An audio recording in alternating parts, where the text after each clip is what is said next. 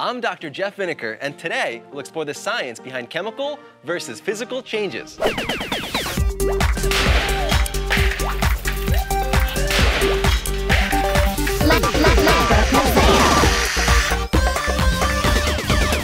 Dr. Jeff. Physical changes often happen when matter changes states.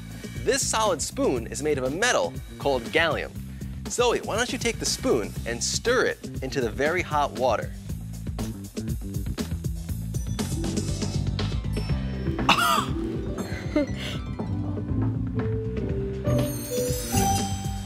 When you put the spoon into the hot water, it causes it to melt. Right? But the shiny liquid at the bottom is still the same metal.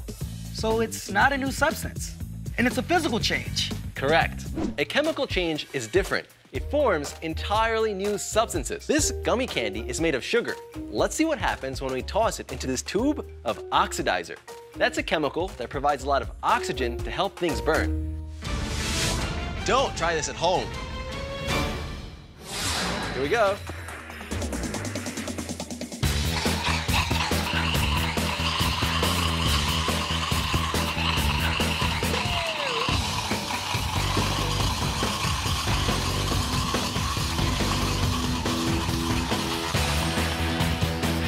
That's a chemical reaction.